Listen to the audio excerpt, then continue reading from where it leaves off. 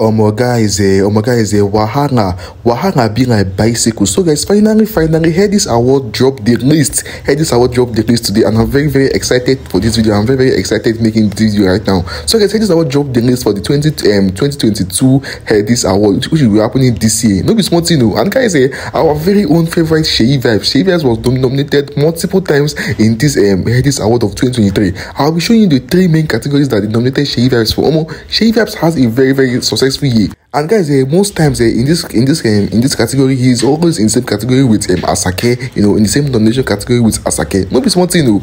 So guys, Sheyi Vibes even had more nominations than Zidoniski. Sheyi Vibes had more nominations than Zidoniski in this um, Headies Award. No be thing.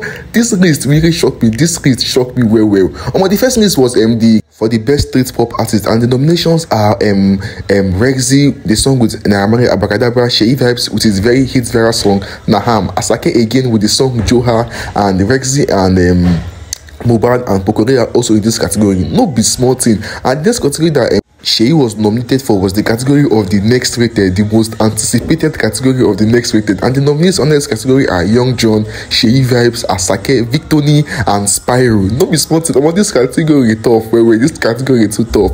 Do you think um, Seyi Vibez had what it takes to beat Asake in this next rated category? Hmm. So guys, the final nomination that um Vibez got was with his song Gwagwalada with um with um Buju Benson and Kizz Daniel for the category of best collaboration. We have um Asake again with um Burna Boy with Sungba, Seyi Vibez with um Daniel on Gwagwalada, Buju and Benson, Buju had um with his song Finesse and Davido had fused with the song Electricity and Olamide and um, Wande Coal with the song Big Basu. No be small thing. What do you guys think is winning this category, especially category for the next rated? Do you think um, Seyi Vibez had what it takes to beat Asake in this category of the next rated? Because they are the two hottest artists in this category right now.